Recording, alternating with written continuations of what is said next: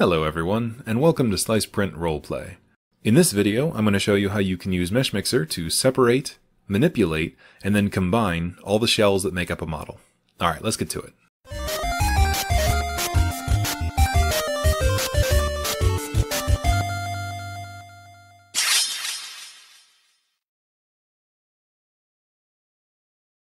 As for the model that I'll be using, it's one of the many different combinations you can make using the mini customizer from the Printing Goes Ever On. If you guys don't know yet, it's a really cool collection of weapons, armor, poses, and even some different mounts that you can use to create custom miniatures. Now, as you can see, sometimes some of those pieces will collide with each other in a way that doesn't quite look right. So I'm going to show you how you can pull those pieces apart, move them around, and make them look better whenever those collisions happen. Now, if you don't already have Meshmixer, I definitely recommend you grab it because it's a really useful program. So with Meshmixer open, you're going to drag and drop your file. And once the file opens, you can see that we've got it in here, but it's way above the build plate. So you want to go over to Edit and then go to Align to drop it down onto the build plate, just to make sure it's where we need it to be. So that way, whenever we export it, it's going to be sitting on your build plate in your slicer. Now from here, it's pretty straightforward. We're going to click on Separate Shells. And now you can see that Meshmixer has gone through and broken the model up into different shells. Now, if you don't know what it means when a model has different shells, essentially it's just saying that the model is made up of a bunch of different parts instead of being one solid piece. That's all. And then in the browser here, you can click down through this list and look at all the different parts that Meshmixer broke the model into. And then most likely, as you go down through the list, there's going to be a couple that don't get highlighted because they're internal. Obviously, you don't have to worry about those. And then, of course, your other option is to minimize the object browser and then click on the model itself to find the different parts. So we said before that this quiver was actually interacting with the cape, as you can see. So we're actually going to move this around so it looks a little better. So once you have a model separated into parts, it's really easy to move those parts around. Just highlight the piece you want to move, go to edit, and then go to transform. From there, you'll have a couple of different options. You can use the arrows to move the part up and down, left and right, in and out, that kind of thing. Or you can use these arches here to actually change the pitch. Now, one thing to note, if these snap points are too far apart or if they're too close together, if you want to have more or less precision, you can hit the up or down arrows to change the distance between the snap points.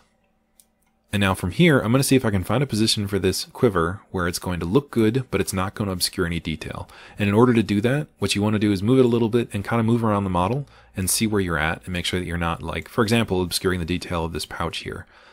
And real quick, in order to move, I'm just holding down the right mouse button. That allows me to spin this around. Or you can use the mouse wheel to go in and out. So my instinct is telling me that I'm probably going to have to move this down a bit in order to get it into a position where it's going to look good but not interact with anything in a negative way. So that looks almost perfect, but there's still a little bit of a cutout back here from where it was supposed to be in its original position in order to fit into a, a part or a piece. So I'm going to move this down a little bit more and then probably move it just like that a little. Turn it just a little bit more. Uh, actually, right there looks all right. So all I'm doing is moving it in small increments, trying to find a spot where it's not going to do exactly that, where it's actually interacting with the other model next to it. That looks okay, but we can still see a little bit of that opening there. So that's pretty low on his back but we might still be able to make that work.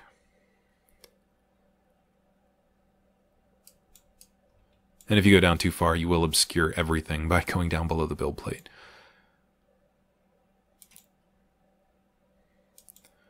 So I'm going to roll that just a little bit more. And go back up again. So like I said, all I'm trying to do is to find a position that looks good, that looks natural, a place where somebody would actually wear this quiver, and also isn't interacting with the stuff around it. And that looks pretty good to me. Honestly, most people aren't going to really look at the model that closely to see that there's a cutout back there, but if it's really bothering you, you can play with this as much as you want to try to find a perfect position. I'm pretty good with that, pretty happy with it.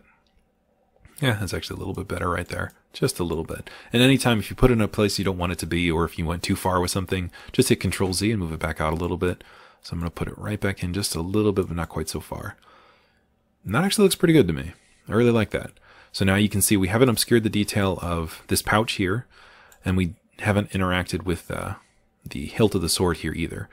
So it's still interacting with the back of his plates here, plate mail, but I think that actually looks a little bit better. It doesn't interact in a way that looks really noticeable. I think it just looks better all around. But if you really decide at the end that you can't get this to work, you're just not happy with it, you can always delete it. But once you have it in a position you like, you're going to hit accept. And then from here, go up to the object browser again under view, object browser, select the top part, hold shift and hit the bottom. And now it will select all pieces in the object browser and you can hit combine. And now it's put all those pieces back together into one model. So one more thing I want to touch on real quick. You can see these little red dots here. These are areas that MeshMixer is saying it's found a problem with the model. I always take that with a grain of salt, and I recommend that you guys do too, because MeshMixer can tend to be a little sensitive about stuff like that. So most likely these are going to print with no issues at all. But if you bring it into your slicer and you see that there's a problem, then you can bring it back in here and try to repair it or use something like the Netfabb tool. But don't freak out if you bring a model in and it has errors like this or errors that MeshMixer is identifying, because most likely it's not going to be that big a deal. But if you see them, I just wanted you to know what they were. So from here, you're going to go up to File, then you're going to go to Export, and then you're going to give it some name, whatever speaks to you. Then make sure that you have STL selected as your file type. And I always save the desktop just because I think it makes it easy to find and organize, but obviously you guys can do whatever you want. Then you're going to hit save, and most likely it's going to tell you that there's an error. I wouldn't worry about it. Again, like I said, it's most likely identifying these little areas that it thinks are a problem, so I'm just going to hit continue. If you want to check out the mini customizer I mentioned at the beginning of the video and get access to battle maps and stat blocks and all kinds of other really cool extras, definitely check out the Printing Goes Ever on. You'll find a link for them in the description down below. Alright, so that's it for this video. If you guys enjoyed it, I'd really appreciate it if you could like and subscribe. It helps the channel grow and I really appreciate it. And if you like what I'm doing here and you want to support the channel, you can find my Patreon information down below. Alright, let's go print something.